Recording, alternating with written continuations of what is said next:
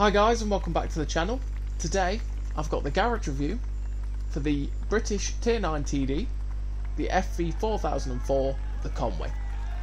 Now this is another tank suggestion, so I'm going to give a little shout out to Spyro 2486 because this is the tank that you asked for. And it's it's an okay tank. It's an okay TD. It's not as bad as it used to be. It used to be bloody awful. 5 degrees of gun depression on this tank, and it used to only have one gun. It used to be terrible.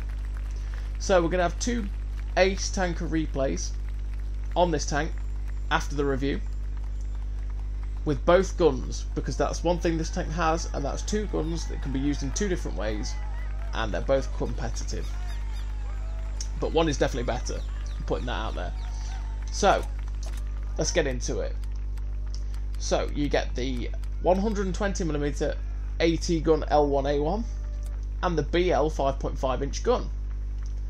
So you get the 120mm stock and you have to unlock the BL 5.5 inch to unlock the FV4005. This gun is definitely better than the 5.5 inch. Okay, the DPM on this thing is second is second only to the Tortoise, I believe. It's unbelievably good. Yeah, Tortoise is way better, but it's it's unbelievably good gun. 0.32 accuracy, which sometimes it, really doesn't feel like it's 0.32 accuracy. It does love a good miss sometimes, and you sit there going, "But you've you've, you've got 0.32 accuracy. How are you missing that?" 1.98 second aim time, which is fantastic. Got 259 pen, 326 premium pen, which again is very, very good. The rate of fire, like I say, fantastic DPM. It's got 380 meters view range, which is good. This this tank has 380 meters view range, which is really good for a TD. Means you don't have to run binocs.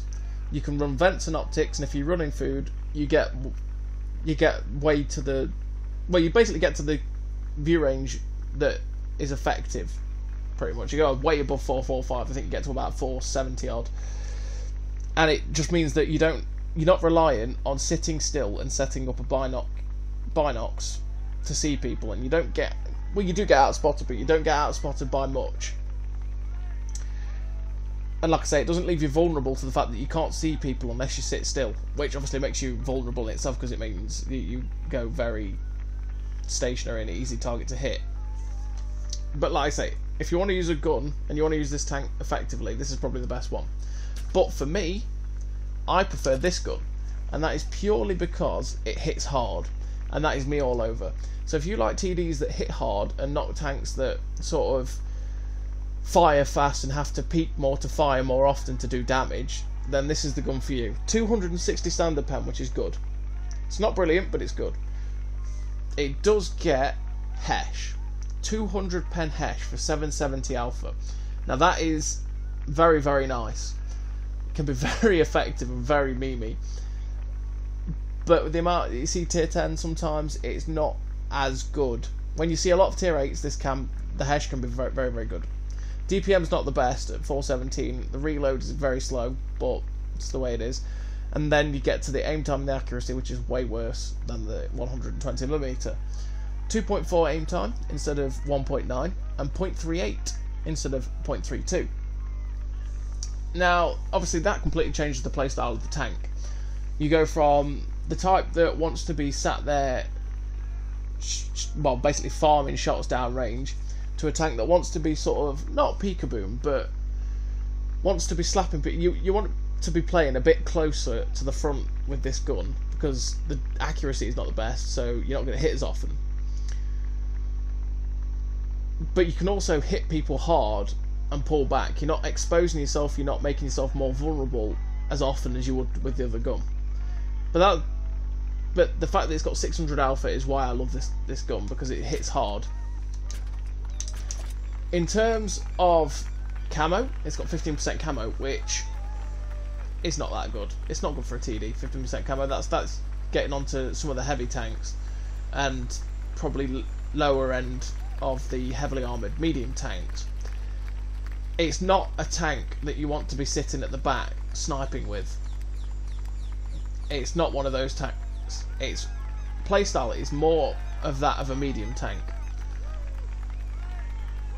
Camo net is definite is a definite no on this tank because even though obviously I know the camo is worse, and you might say, oh, you know, so you want you're saying the camo is bad, you want to make the camo better since it's a TD with a camo net, but no, it honestly, if you're gonna get spotted in this tank, doesn't matter if you've got a camo it's its camo is not the best. So what you want to do is just basically get the crew to be trained as camo to make it better, and then try and make everything else better, like I have here. So I've got caliber, uh, gun rammer, improved vents, and coated optics. So that in itself means my view range will be very good.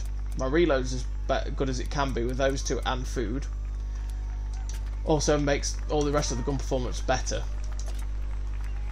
Its top speed's 40 kilometers an hour, which isn't great, but it's good enough that you can get to positions you want to be. The horsepower per ton is also fantastic at 18.99. It may as well be 19 horsepower per ton.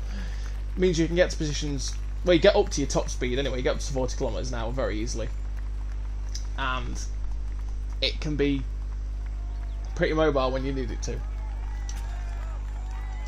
The other thing with this tank and its guns is that this BL 5.5 inch gun doesn't get a fully traversable turret. Your turret will only turn 90 degrees each way with this gun. If you want a, a tank with a turret that goes all the way round, that's the 120mm gun.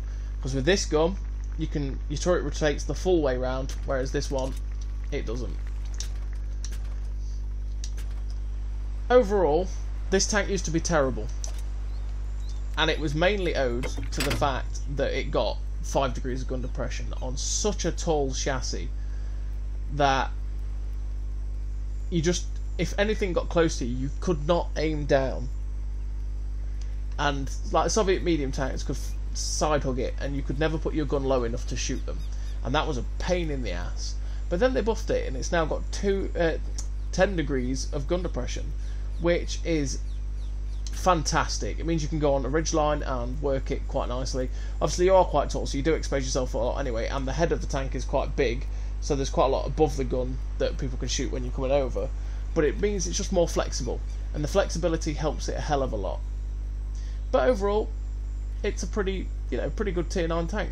Oh, and it's probably better to go for this tank before the Tortoise.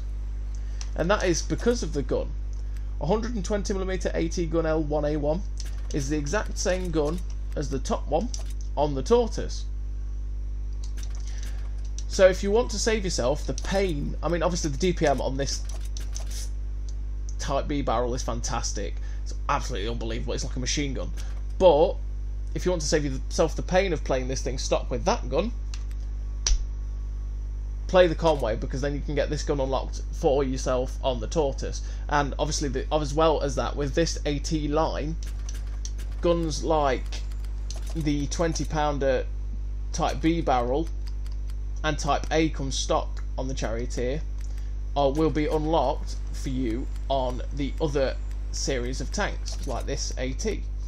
It starts off with a 17 pounder. I think you get the Type A barrel fully upgraded on the AT7, but then you'll get the Type B barrel, which is fully unlocked on here, which is your second gun on the Charioteer, fully unlocked for you. Again, which means you're not playing stock as much with this tank and that makes it nice. That's why I, I kind of like the interchangeability of tanks on each line having similar guns and similar modules to unlock.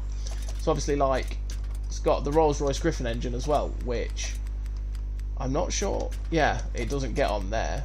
Oh, but yeah, your engines are also the same.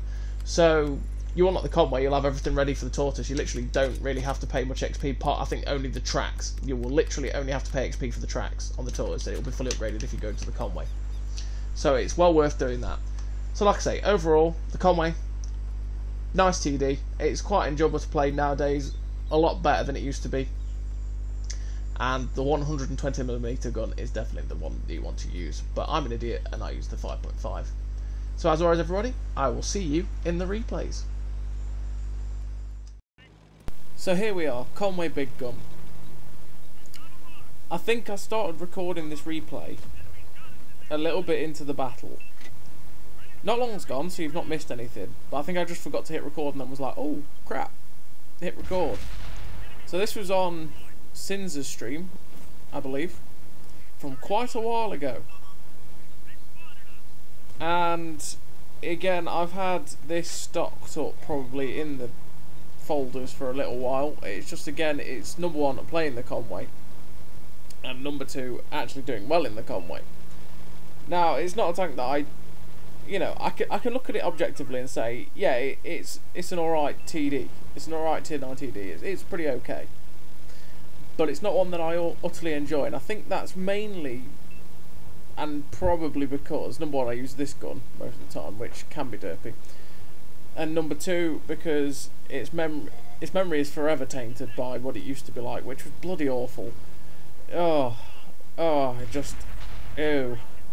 So as you see, we've loaded the Hesh, and that pen on the E4 was juicy. 794 roll. Now the Hesh, obviously, as you've seen in the review, has 200 pen, but when it pens, it's juicy. We pen the side of that Panzer 7's turret for 772. It's 770 Alpha, so those were both high rolls, and it's just delightful. Because obviously you think about it, it's got about 20 more damage than an Object 704. Because the Object 704 has 750 alpha. Well, this has 770 with 200 pen. Sure, it's not got the great pen that the 704 has. Like, it's like 280 something, 290 something on its standard. But it's 770, so it's 20 more, and it's also high explosive. So when it pens, it wrecks.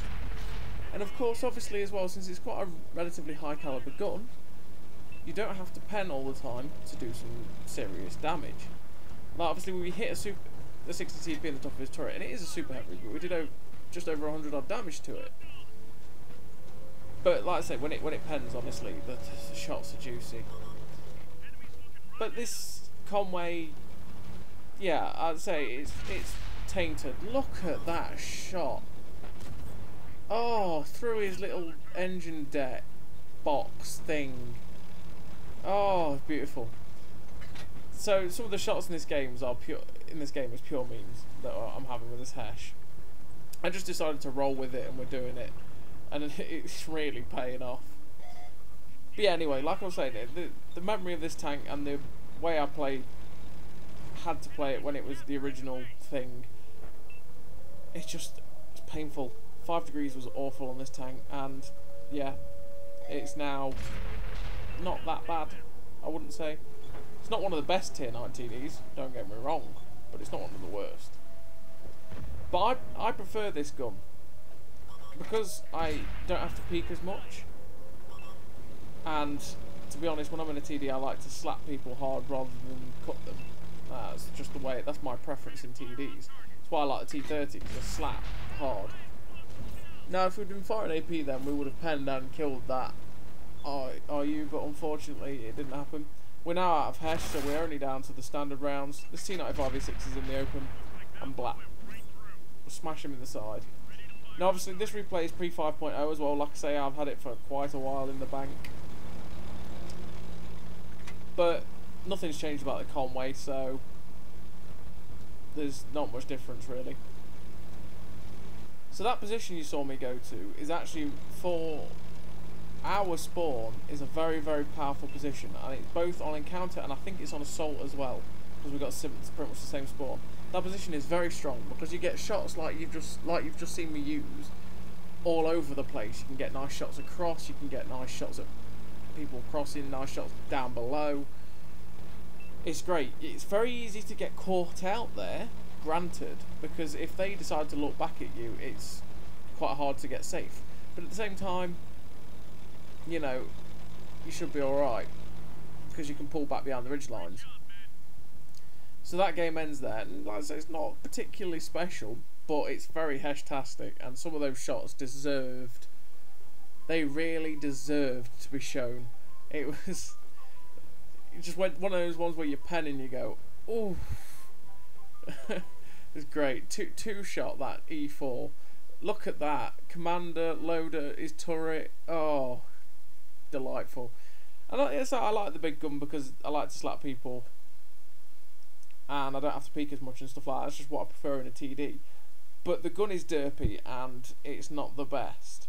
And obviously the pen isn't the best either. With I mean, 260 on the standard is, is a good standard round. But then the fact that you've got no premium round to deal with the more super heavies and 260 against super heavies can be a wee bit dodgy here and there. So, now we're on Thiepval 1944, and we're on Swindlestream, and probably Turkish too, and we're using the uh, 120mm. Now this is probably the better, better gun now as we're playing this game, we've bumped into one of my clanmates' cars, so that's why I've just shot in the side. Probably a waste of ammo, because this thing can run out of ammo, because it reloads so, so very fast. The DPM is insane. But what annoys me about this gun is the fact that it, it's, it's super duper accurate. But as you see in here, the shots just love to not fly where you're aiming. I've not penned him once. He's a stationary Valo. I've got 0.31 accuracy, I think it is. Or 0.32, like I was saying in the review. And just those shots weren't flying in, it, and it just frustrates me. And this is the other reason why I always hated the Conway. Because you had an accurate gun, you only had 5 degrees of gun depression, which meant a position like I'm using right now, you could barely use without overexposing and the gun, for saying it was 0.32 accuracy, just wouldn't hit. And it was so very frustrating. So that's why I always hated it. It was the one tank that I have actually skipped, because I've just gone, nah. No, I'm not doing this. Not doing this. I'm out. And went straight to the FV4005. And that was my first 183 gun uh, before I unlocked the Death Star. Because again, I didn't want to go through the tortoise, and I was just like that. But Anyway, take it in. Take how quick this gun fires. And this position we're using is good. Obviously, we've got a slim to nothing shot on this AMX. So we're thinking about it, but it's it's probably not going to happen. We are spotting him, so we are getting his assistance. But yeah, taking how quick the gun fires because the gun is rapid fire. It's unbelievably. It's exactly like it's just a turreted tortoise for the DPM. Obviously, the tortoise is way better DPM. But, yeah. So like I say, this gun is like a machine gun. We're just going to keep poking shots at these guys. I think there's someone else up there with that 432. But we get on night. Yeah, there we go. It's an AMX 5100. We slap him. And again, look how quick it's reloading. He's thinking, oh god, I've got to get out now. And then we could have damaged him there, but the gun said no. But he sat still, so finish him off. And there's this 432 that we can still see and shoot. And we're hoping it'll pull back into position we can get a shot at him. But it's unfortunately not happening. So now is the time to move forward. We've got the guys on the left that we want to kind of get behind. And we've got this chisel. Now this chisel is going to be a, can be a pain. Especially the position he's in. But he's got more things to, fo uh, to focus on. Like Turkey just shuts him down. So we are now in this position against these guys. We've got a shot at this 53 TP, so we're not turning that down. We're only on the APCR now, that's all we've got left. Which means that we are going to have no trouble penning people, unless we get random shots like that, which fly into the tracks rather than the lower plate. That guy's getting bullied. We managed to shut him down, slap him. And we've got some nice shots now down there. These guys, if we just move out a little bit further, we should be able to shoot them but we are winning very heavily. So the likelihood of me getting to get more, another shot at someone is quite unlikely. If physics lets us up, there we go. So there's the guy on the right in the medium tank as well, he's also like down in the dip. And we're going to see if we can pop up and get a shot at this 140 because he's our likeliest source of damage now. I could have turned and shot the light tank on the hill, but I've decided this, this 140 is the one we're going to get. So here we are, pretty much, for the most part, a fully aimed shot on the 140. Unfortunately, on his side, it tracked him only. But, we got all that juicy assistance. which is nice. So we end up finishing the game, not actually managing to get another shot. But I thought that game, as well as nice, we get a good amount of assistance for spotting from that position. We got a nice, nice bit of tracking.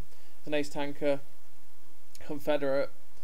I thought that game showed why I'm not a big fan of the 120 as much. Even though it is the better gun, 21 shots fired, 17 hits, 10 pens, because it kept flying high or flying low. And it's just a gun that frustrates me. But as always, everybody, thank you very much for watching. I'll see you next time.